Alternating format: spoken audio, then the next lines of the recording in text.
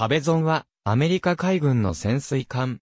バラオ級潜水艦の一隻。艦名は、カサゴモクカジカ科に属する、食用魚壁ゾンにちなんで命名された。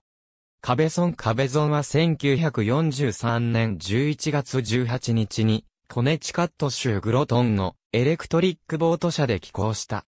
1944年8月27日に TR クーレー夫人によって命名、浸水し、12月30日に艦長ジョージ W. ロートラップジュニア中佐の指揮下、収益する。壁ゾンはニューロンドンを1945年2月19日に出港し、フロリダ州キーウェストに向かう。キーウェストでは訓練を呼び、艦隊音響学校での任務で3週間を費やす。その後パナマ運河を経由して、真珠湾に向かい、3月15日に到着した。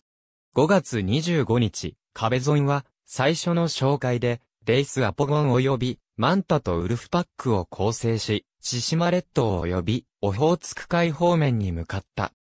6月18日、壁ゾンは、北緯50度23分統計155度06分、北緯50.383度統計155.100度、50.383-155.100の地点で、バラムシル島から出てきたばかりの輸送船団を発見。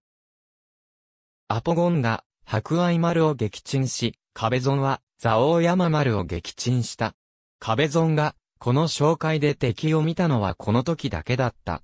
7月10日、壁ゾンは46日間の行動を終えて、ミッドウェイ島に帰島した。壁ゾンは、その後、修理を経て、時期紹介のために、サイパン島に開港されたが終戦となり、水上艦部隊の訓練標的艦任務に就いた。壁ゾンは、サイパンでの任務の後に、9月7日から1946年1月12日まで、スービック湾を拠点として、フィリピン海域で沿岸での作戦活動及び訓練に従事した。任務を終えた壁ゾンは1946年2月6日、サンディエゴに到着した。その後しばらくは沿岸での作戦活動に従事した。母校は真珠湾に変更され、1946年11月20日に到着、引き続き沿岸での作戦活動及び西海岸での海軍予備役兵の訓練巡航、南太平洋、北、太平洋及び北極圏で行った。1950年3月18日から7月29日、及び1952年4月21日から10月16日までの2度の極東巡航を行い、1952年の巡航では、宗谷海峡の偵察も行った。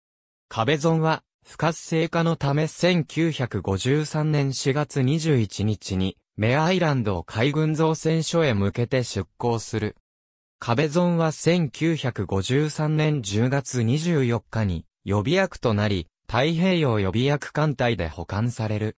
その後、1970年5月15日に除籍され、1971年12月28日にスクラップとして売却された。壁ゾンは、対二次世界大戦の先行で一個の従軍聖賞を受賞した。